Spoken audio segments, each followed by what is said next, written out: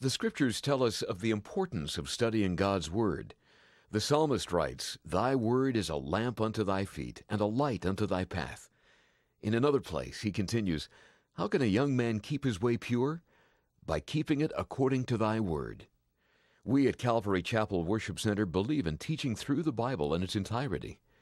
May your faith be increased at the hearing of God's Word. Here now is Pastor Rich. All right, we are back, everybody. Go ahead and have a seat if you do that. And let's take our Bibles, please, and open to 2 Kings chapter 5, verse 1. 2 Kings 5, verse 1. Title is Naaman is Healed. Very important story, a lot of personal application. Let's ask the Lord's blessing. Father, we now look to your word. Pray that you would bless by your Holy Spirit. Pour out the spirit of life into our hearts because, Lord, we come with a teachable heart and a desire to learn, to grow, to be transformed. Pour out that life to us today. In Jesus' name, amen. All right, in 2 Kings 5, we are introduced to a man named Naaman. He's not a Hebrew, uh, he is actually Syrian. And uh, so it's an interesting story because it starts out in this country of Aram, kind of in the north and east. And it's interesting because we're told that he's a highly respected man in the eyes of the king of Syria king of Aram, a valiant warrior.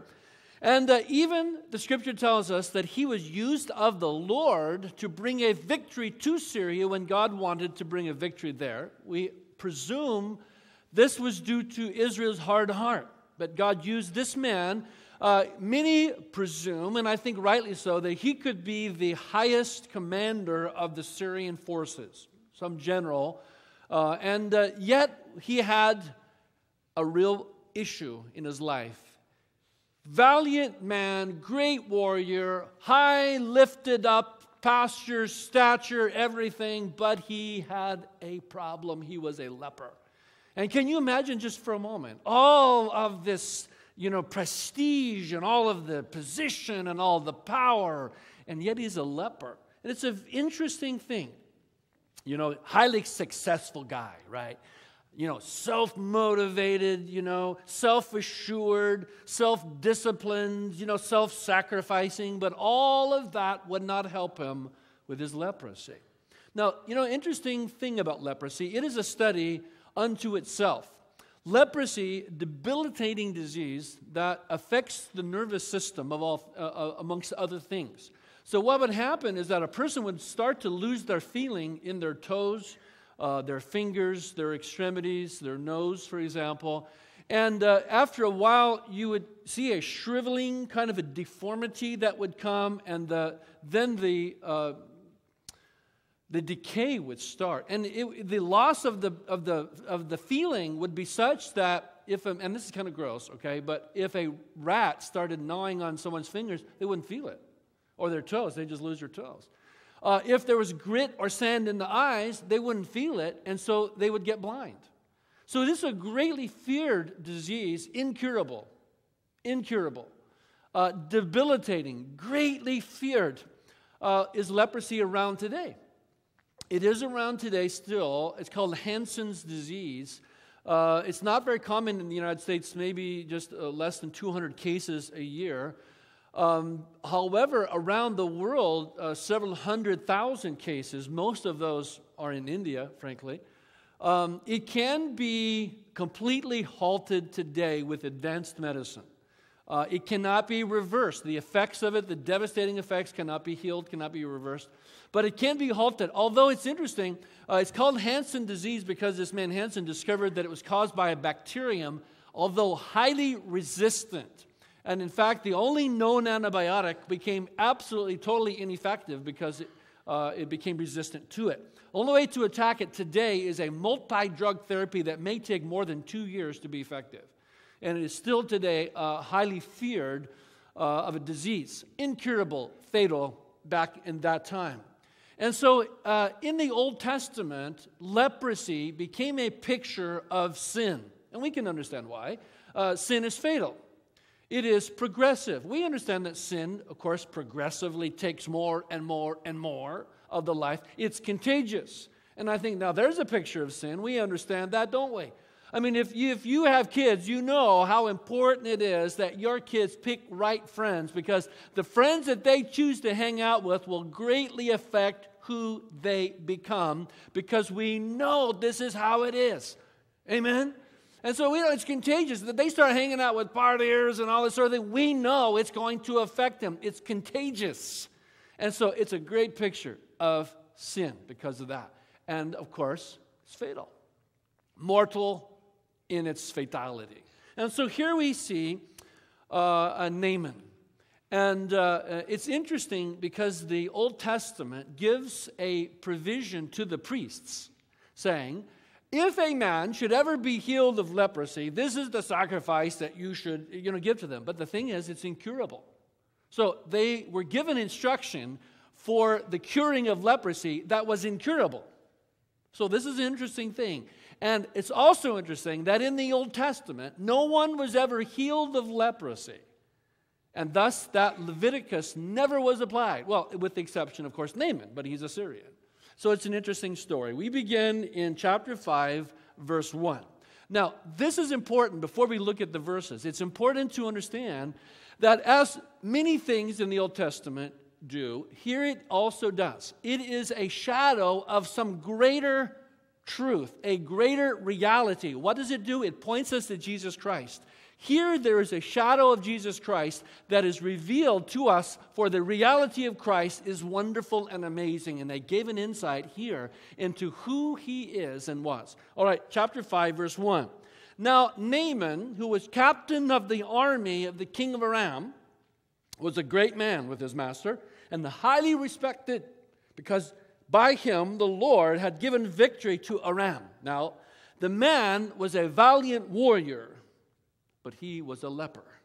Now, the Arameans had gone out in bands and had taken captive a little girl from the land of Israel, and she waited on Naaman's wife. Little girl. It's an interesting part of the story. So the little girl said to her mistress, Oh, I wish that my master were with the prophet who is in Samaria. Then he would cure him of his leprosy. I like this little girl. I don't know how old she is, but she's a little girl, so we have to assume that she's pretty young. And here, I think we get just a little insight into the benefit of raising our children in spiritual truths. For here she was taken from her family, but she's got a hold of spiritual truths even as a little girl. And she testifies of who God is and speaks of this great prophet. You know, oh, if my master could only know that there's a prophet in Israel. And so, interestingly, this little girl's testimony is rushed right up to the king. It tells us in verse 4 Naaman went in and he told his master, saying, Thus and thus said the girl who is from the land of Israel. Well, when the king of Aram heard it, he said, Well, go now, and I will send a letter to the king of Israel. So he departed, and he took with him 10 talents of silver and 6,000 talents or shekels of gold and 10 changes of clothes. This is a lot of money. He's sending millions of dollars worth of, of gold and silver and all these clothes, which was very valuable at the time, uh, because they want this man. He's a very important guy, and they need him to be healed. So, verse 6, he brought the letter to the king of Israel. Now, can you imagine? the king of Israel in the northern kingdom, they weren't exactly following the Lord, okay? And so you can imagine the king, he gets this letter from the king of Aram. What is this? And this is what the letter said now, as this letter comes to you, behold, I have sent Naaman, my servant, to him, to you, so that you may cure him of leprosy. What? You gotta be joking. What is he doing to me? What is he thinking? And in fact, verse 7, it came about when the king of Israel read the letter that he tore his clothes and he said, Am I God? What is he doing to me? Am I God to kill and to make alive? That this man is sending word to me to cure a man of his leprosy? Now, look, consider this. He is seeking a quarrel against me. He's trying to start a fight. And so he's tearing his clothes. He's in such anguish. Okay, so Elisha, Elisha hears this. And verse 8 It happened when Elisha, the man of God, heard that the king of Israel had torn his clothes, that he sent word to the king, saying, Why have you torn your clothes? Now let him come to me, and he shall know that there is a prophet in Israel. Apparently, you don't know that, but there is a prophet in Israel, and he will soon know that. So Naaman came. So the king Jehoram said, Yeah, yeah, yeah, go, you go to Elisha. So Naaman came with his horses and his chariots and stood at the doorway of the house of Elisha. I don't know, we can call it a house. He was a, a prophet in those days. They didn't have much, but we might call it a hovel. But here comes Naaman with his horses and his chariots. I mean, you got to just imagine the scene for just a minute. Naaman is a mighty man, and he's an important guy. I mean, in Syria, which was a significant nation, he's way up there in significance. So when Naaman comes, you know, with his horses, well, that general's going to have his horses all decked out. You know, his chariot's going to be all decked out. His uniform is going to indicate significance and power, right? And so you can always hear the creaking of the leather, you know, and the cheeking of the metals and, and all this sort of thing, you know. And oh, of course, he's got an entourage. You don't go anywhere without an entourage if you are an important person. He's got the whole entourage. He's got silver and gold. He's got a letter from the king of Syria. How important is that? You know, and he comes with the whole thing and he stands outside of Elisha's house, you know, waiting for the man of God to come out to him. you can just see the scene. Elisha doesn't even come out to see him. I love that part. Elisha doesn't even, you know, not coming out. And he sends his servant out with a simple message Hey, go dip seven times in the Jordan, you'll be healed. Thank you. See you later. Bye. And so this is, you know, uh, this is what happens. So Naaman, verse 9, came with his horses and his chariot, and he stood at the doorway of the house of Elisha. And Elisha simply sent a messenger saying, Go wash in the Jordan seven times, and your flesh shall be restored to you, and you'll be clean. That's it. Naaman, verse 11, when he heard this, he became furious. And the word here means furious. I mean, he is in a rage. How dare him! How dare him say such a thing, to do such a thing to me? He's, he's furious. He's absolutely in a rage. Naaman is furious and he went away. He's, he's leaving. Behold, he said, You know what I thought? I thought, he said, that he would come out to me and he would stand and he would call on the name of Jehovah his God and he would wave his hand over the place, wave his hand, you know, and then the leper would be healed. I thought, do some big thing. He said, dip seven times in the Jordan. Are, are not Abana and Pharpar, the rivers of Damascus, better than all the waters of Israel? Could I not wash in them and be clean? So I turned away and went in a rage. Now, we can understand that he wasn't too impressed with the Jordan. I mean, if you've ever been to the Jordan, you would, under, you, you would relate to it right away. I mean, you know, if you go to Israel, you want to see the Jordan and you want to be baptized in the Jordan. I mean, if you go to go to Israel, you got to be baptized in the Jordan. I mean, everybody wants to be, right? And we get this image in our mind that the Jordan is like the mighty Columbia. You know, oh, moves through, you know. You get there and you say, Is that really the Jordan? That looks more like a creek. What is that? And, and indeed, you know, you stand up to it like hearing it, you know, and what? The Jordan? And dip into it? That's it? That's it? That's the whole thing. Well, remember that this is a picture of some greater thing. It's a picture of salvation.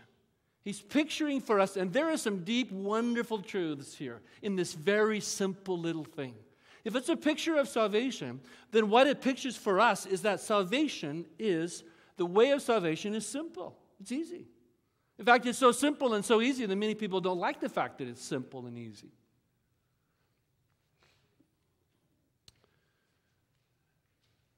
Wants some great thing. You know, here's the thing when you look at this. What was it that he had in his mind? You see, he wanted to be treated like a great man. He was bringing his approach to life into his religion. You know, give me something great to do. Give me some, you know, difficult task of penance, maybe some mountain to climb, some goal that can only be accomplished by self discipline and self sacrifice, and I will show you what a great man I am. No. You go just simply dip in the Jordan River. What? And so, what was it that got in the way? Pride. You know, see, salvation, the way of salvation is a simple thing, but pride can stand in the way. Oh, can we ever relate to this? Pride. Oh, how great pride can be in our lives. Pride, you know what? Pride almost kept Naaman from the greatest gift that he could ever receive. What was it he wanted more than anything else? He wanted to be cured of his leprosy. And pride almost kept him, almost kept him from the greatest thing that he ever desired. Man, we got to look at that, don't we? We got to look at our own pride. It keeps people from the greatest things that God wants from them. And their pride gets all bothered by things. You know, told seven times to dip in the Jordan River. Are you kidding? Why, the rivers of Damascus, aren't they better?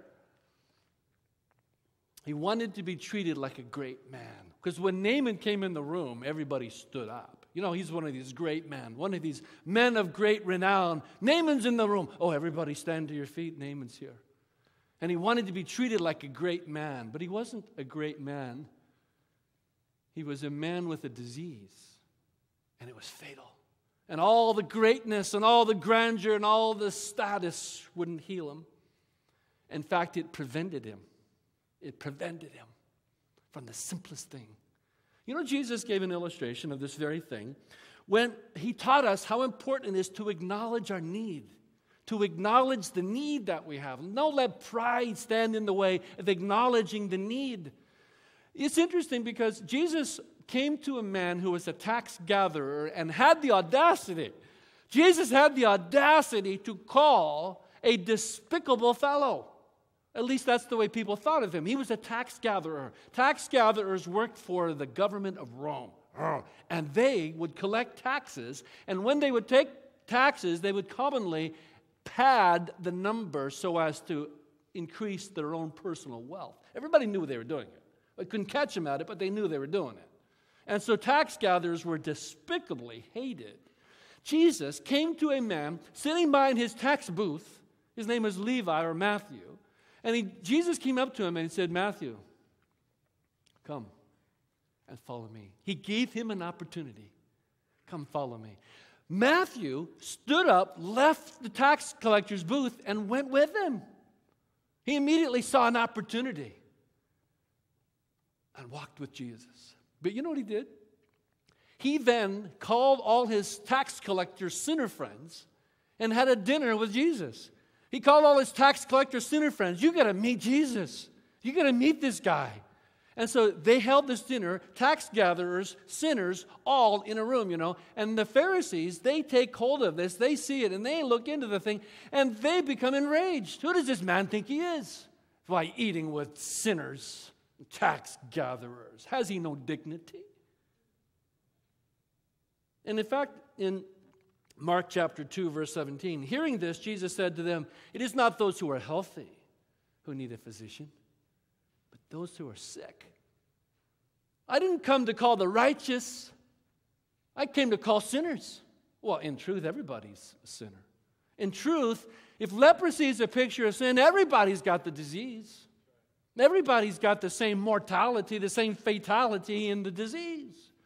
It's only when we, oh, we think we're something. You don't, you don't see your need? Do uh, you think you're somebody?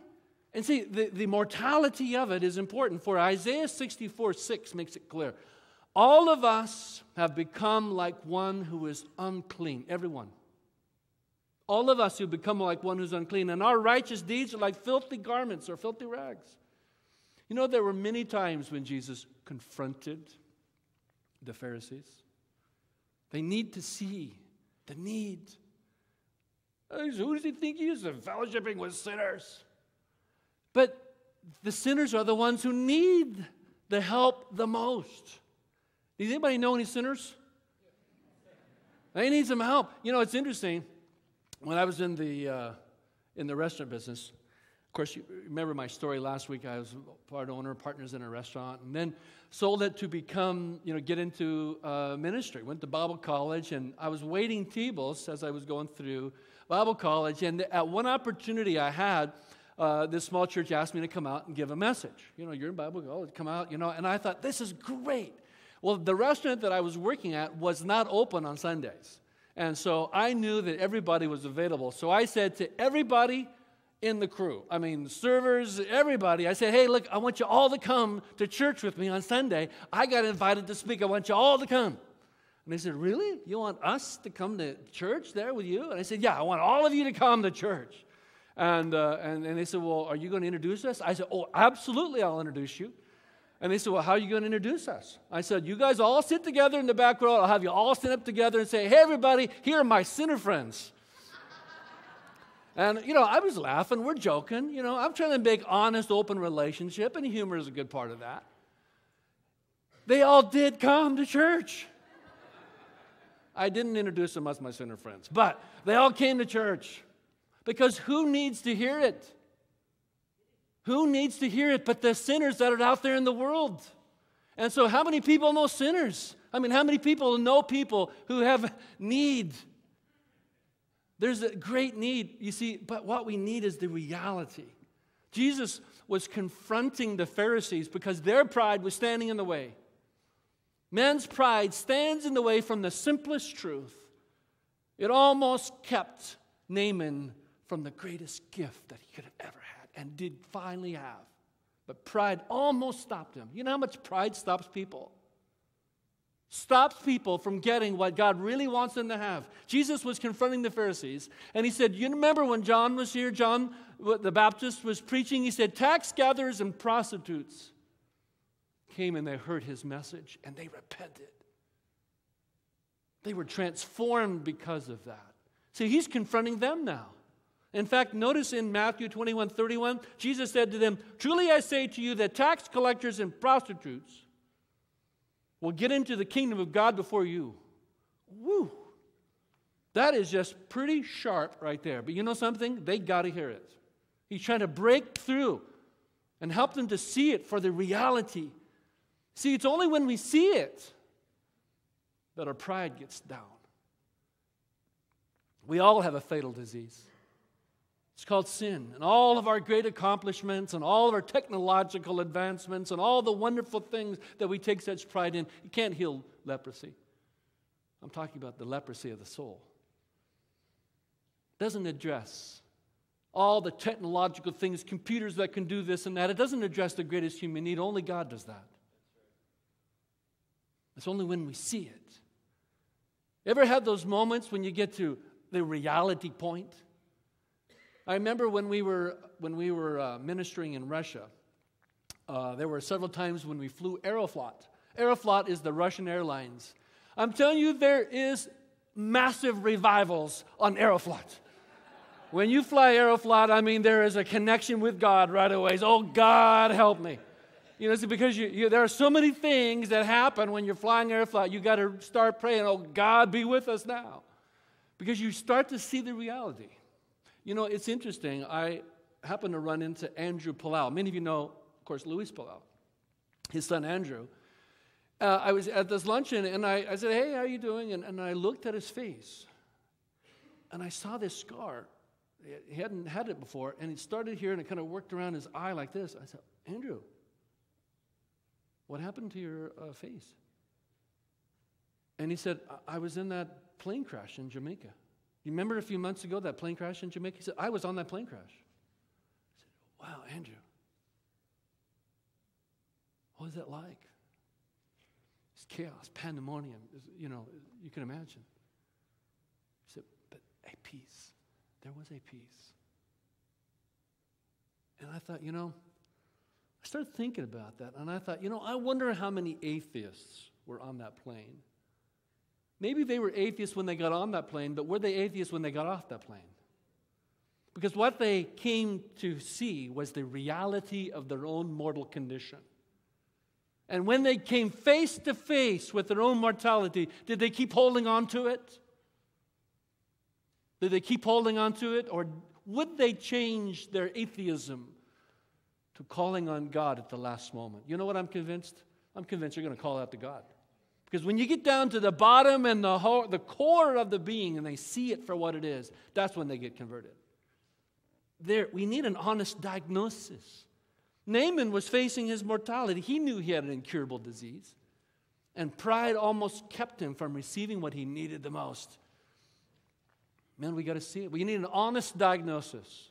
We need an honest diagnosis. And so, what was it that the servant of Naaman said to him? Notice in verse 13, his servants came near. He's furious, right? Oh, what is he thinking? He's furious. He leaves in a rage. His servants came near to him and said, My father, had the prophet told you to do some great thing, would you not have done it? Yes, he would have. If he had asked you to climb some mountain, if he had done some great thing, wouldn't you have done it? He said, How much more a small thing? If you would have done a great thing, how much more a small thing? Of course, he would have done a great thing because it would have showed how great he was. You show me some great mountain, you show me some great feat, and I'll show you. I will do that thing, and I will show you how great I am. No, this is not it. It's a simple thing. It's a simple thing. Simply believe. That's it. It's simple. Simply believe. The point here is it's so simple, but you must believe it. And so this is what happens. When the servant said to him, My father, if the, if the prophet had asked you to do some great thing, would you not have done it? Why not do this simple thing? Go wash and be clean. So he did it. He went down and he dipped himself seven times in the Jordan. You can imagine, you know, he's up to here, you know, he's dipping down. This is ridiculous. This dude, come on, there's a three. Seven times, he seven, seven times, you only had five, keep going. And he said, oh, you know, but finally, in the seventh time, he stands up and he's clean. And it says here, uh, he dipped seven times in the Jordan according to the word of the man of God, and his flesh was restored like the flesh of a little child and he was clean. The flesh, can you imagine the skin of leprosy, which is rotting? And he's now restored like the skin of a little baby. We would say he's soft as a baby's bottom. You know, it's like, oh, it's so wonderful. Can you imagine? I just have this scene, you know, that he comes up, you know, and his face, and all his servants say to him, Wow, Naaman, your skin looks like the skin of a little baby. Boosh! You know, you don't say that to a general, right? But so here, here he did it. He simply believed, and his pride was lowered, and he received it. Here, it was just the simplest thing. He wanted to be healed, and so he did the simplest thing. But this simplest thing, this healing, was far beyond his resources. He had all these millions of dollars. It wasn't enough. He had a, a letter from the king. It wasn't enough. The simplest thing, and yet no one could afford it. And interestingly, turn in your Bibles, if you would, to Isaiah 55. For Jesus, uh, the Lord addresses this in Isaiah 55. Beginning in verse 1. Ho, which means listen to this. Ho, everyone who thirsts, come to the waters.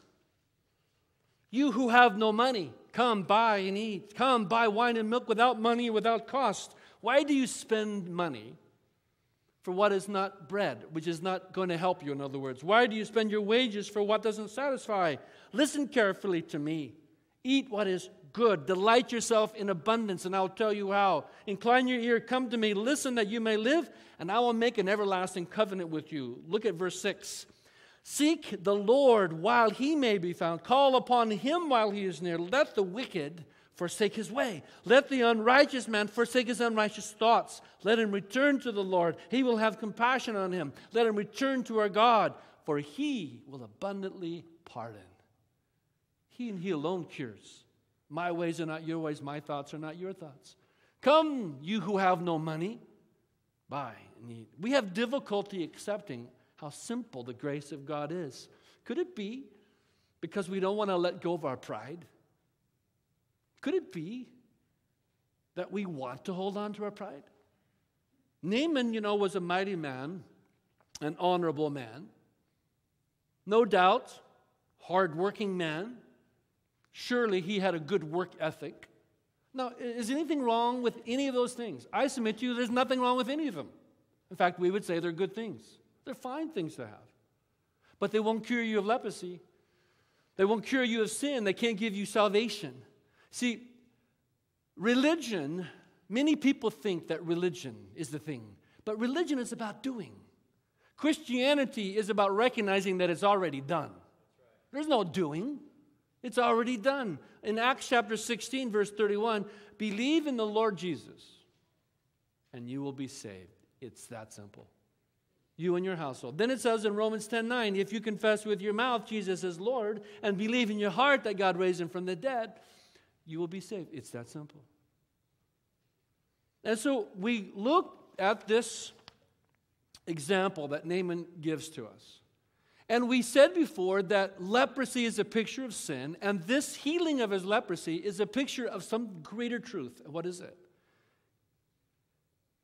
It's that we are baptized into Christ. And here's something we need to understand. This is a, it's a simple thing, but there's a great truth behind it. You are saved in Christ. See, many people, they don't understand how we're saved. You know, they, they believe and they're saved. That's true. But isn't it wonderful to know how? How are we saved? You are saved in Christ. You know, Naaman asked an interesting question. Were not the rivers of Damascus better than the rivers of Israel?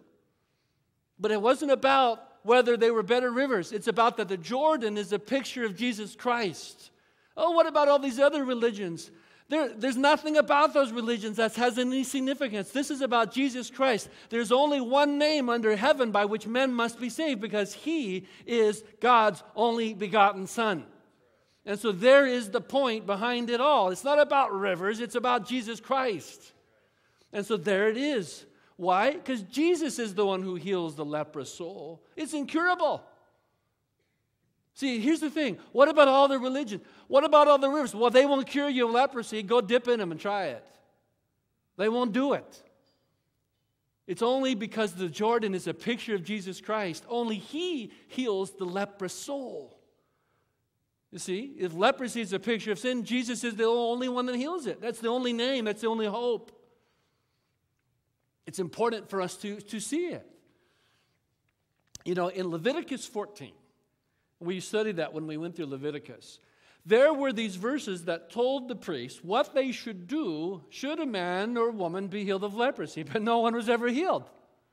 For 1,500 years, since they received that law, for 1,500 years, no one ever, ever applied those verses. Of course, Naaman was healed, but he was a Syrian, so it didn't apply.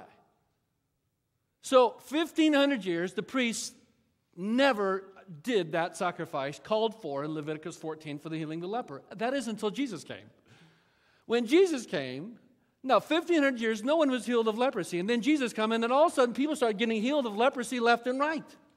Can you imagine Caiaphas, the high priest? 1500 years they had never used Leviticus 14, and all of a sudden, groups of people. Did you know there was 10 people at one time that got healed of leprosy? What can you imagine Caiaphas? What? Yeah, there's 10 people out here. They all got healed by leprosy. It's a testimony to who he is. The one, the promised one, the Messiah, the one who heals the leprous soul, he's here. It's interesting.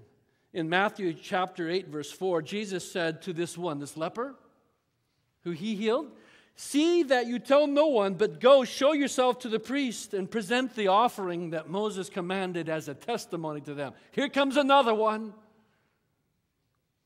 But look at the verses just before it. Matthew chapter 8, verses 2 and 3. For here we get an interesting thing. This leper came to him and he bowed down before him. Now, can you imagine a leper? Came to Jesus, bowing down, and he said, Lord, if you are willing, you can make me clean. His faith was so clearly seen, don't you think? I know you can touch me. You are able, if you are willing, make me clean. Jesus stretched out his hand. I love this part. Jesus stretched out his hand and he touched him. I am willing. Be cleansed. And immediately his leprosy was cleansed. Here's the thing Does Jesus want to heal your soul? Does Jesus want to transform your life? Answer Oh, absolutely. The question is not whether Jesus wants to, the question is whether you want to. Does pride stand in the way? That's part of leprosy, isn't it? See, here's the thing that we need to understand It's in Christ. It's a simple thing. In Christ we die, and in Christ we live. See, there's the greater reality. There's the wonderful truth of it all. In Christ we die. Well, how does that have any significance? Well, remember what the scripture says. It tells us that the wages of sin is death. You see, leprosy is fatal, it brings death. The wages of sin is death. That's what it tells us in, in, in Romans chapter 6, verse 23. Wages of sin is death, but the free gift of God is eternal life in Christ Jesus our Lord. Next, we need to see then that we died because of our sin. We died when we were in Jesus Christ. This is how we were saved. He takes us by the Holy Spirit and He baptizes us into Jesus Christ. Now, let's make something real clear. It's not the water of baptism. We have a baptistry right here. It's not the waters of baptism that saves, it's the Holy Spirit taking us and baptizing us into Jesus Christ. The water, all of that is just a picture of something far greater, a greater reality. It's like communion. Communion is just bread in a cup, but it's a picture of some great reality the body and the blood of Jesus Christ. And so baptism is a picture of some great reality. You know what that reality is? That He takes us, the Holy Spirit does, and He places us into Christ so that we were in Him when He died. We're supposed to die. Well, we did die because we were in Him when He died. Notice in Romans 6, verses 3 and 5 Do you not know that all of us who have been baptized into Christ Jesus have been baptized into His death? Therefore, we have become united with Him in the likeness of His death if we've been united with him in the likeness of his death, then we are united with him in the likeness of his resurrection. In him we died, and in him we live. It's like we're born again. Our soul is made, you know, new. It's a wonderful, we've been healed. See, Christ's death then is applied to us, and his life is applied to us. It'd be different if he just stayed in the grave. But he was raised from the dead. So we were with him in his death, and we were with him in his life. It was given to us as a gift. I said, Can you explain that further? How about this? You know, many of you know that the sin of Adam is actually attributed to each one of us. This is the nature of who we are. That's why we're born in sin, because we were born into Adam's sin. We say, Well, I wasn't there when Adam sinned. Well, kind of you were. The scripture tells us that we were in him when he sinned. We were in his loins, you could say when he sinned. Therefore, it's as if we had sinned. Now, we didn't sin, Adam sinned, but we were in him when he sinned. Therefore, it's like we had done it. And he said, Well, I'm not sure I like that. Well, I understand that. But it's also how we're saved. For not only were we in Adam when he sinned, but now, in a similar way, spiritually, we are in Jesus Christ when he died. Therefore, now we have been healed from the sin that we had in Adam, we are healed and we are now in Jesus Christ. And so the glorious truth is that now we have all of the righteousness also, because we were in him when he was righteous.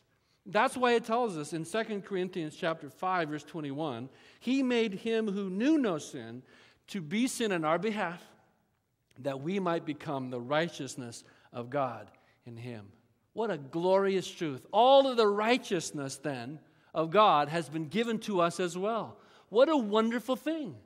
When we step back and we realize the healing that we have and all that it means and the transformation that God is doing in us, it should cause us to, to, to, say thanks. It should cause us to fall in love with the Lord all over again.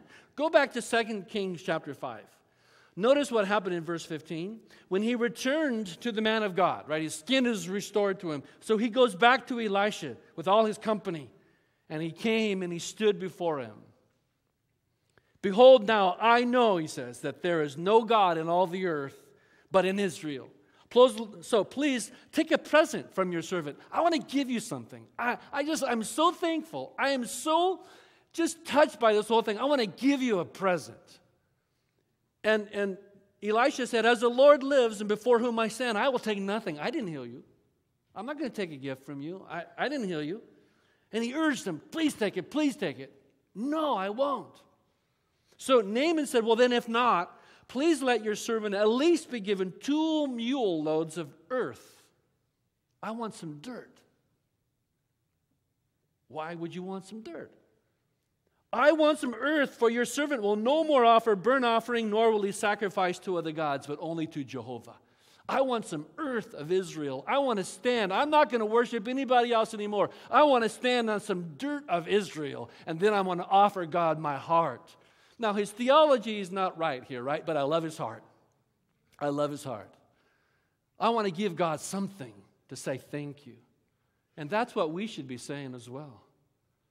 When you realize that He has given you the greatest gift you could ever have, don't you want to say thank you for that?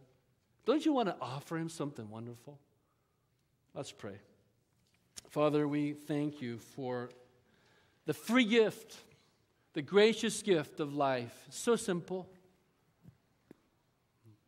Yet pride can stand in the way. Lord, I pray this morning that we would recognize that the picture that we received this morning is a picture of the greater things that you've done for us in Jesus Christ. Only you can heal the leprous soul. And we pray this morning that you would pour out that life to us. We lower our pride and see it and recognize it. Church, as we're praying this morning, as we continue to pray, I want to ask a question. If you are here this morning and you have not asked Jesus Christ into your heart as Lord and Savior, I want to invite you this morning to do that. It's very simple. You simply believe. You ask Him. If you're at that place where you say, Lord, I want to repent of all the things, I want to repent of the leprosy, all the things that, that have destroyed me and brought death to my life, and I ask that you would make me whole. Give me eternal life. I lower my pride and I receive that this morning. Would you be one of those who would receive this morning Jesus Christ as Lord and Savior. I'm going to ask that you would just raise your hand and just, God bless you, sister. God bless you guys there. Anyone else who would receive Jesus Christ this morning? Several at the first service as well. We just want to honor the Lord in that. Anyone else who would make that decision for the Lord today? God bless you guys. Father, we honor you for everyone who says they want to receive Jesus Christ as Lord and Savior. It's an honor to recognize that you are the one who heals the leprosy of our soul. You bring the healing. Church, if, we, if you're here this morning, if you would be one of those that would say, But I want to give something to the Lord, I want to give him my heart as a thank you. I know that he's touched me, but I haven't been giving him my heart. I haven't been acknowledging his place in my life that he deserves to have. Would you say that to the Lord this morning? Would you raise your hand and say that to the Lord? I want to give the Lord my heart and acknowledge that I haven't been doing that. God bless you guys. God bless each of you as you say that to the Lord. As you say that to the Lord, He will hear you, He will honor His name in your life. Father, thank you for we see in these verses, in this chapter, this encouragement to us, this great, wonderful thing that you've done, and it causes us to love you more. For no one can wash away our sin but you. No one. We honor you, we worship you, we praise you this morning. In Jesus' name, everyone.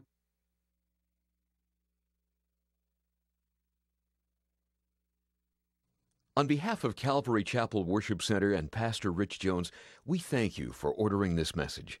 Our prayer is that God will use it in your life to increase your knowledge and your love for Him. If we may serve you in any way, please contact our church office at 503 642 2003 or on our website at www.calvaryhillsboro.org. On behalf of all of us at Calvary Chapel Worship Center and Pastor Rich Jones, may God bless you.